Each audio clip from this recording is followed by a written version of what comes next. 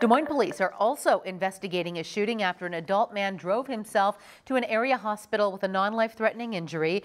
Police say they found scene evidence near the corner of 19th Street and College Avenue, but there is no ongoing danger in the area.